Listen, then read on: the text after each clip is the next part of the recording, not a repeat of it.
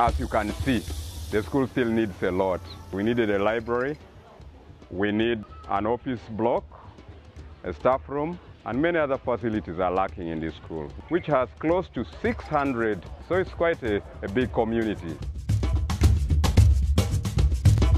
The patient has a lot of trust in you, has a lot of confidence in the public facilities, but you'll find that the patient is the sufferer. The patient suffers so much, and most of them maybe don't have even money to buy the drugs that you place on a prescription.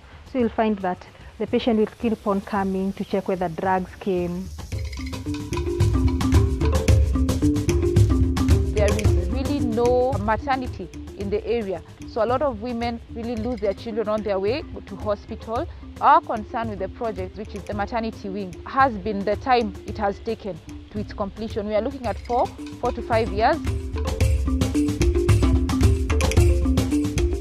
There should be development. Our people are crying. You just walk through the streets here and see how many Ghanaians, young ones, who have the energy to use, are just getting them wasted. If we are able to stop about half of money that go through the drain, we could make this country a better place for all of us.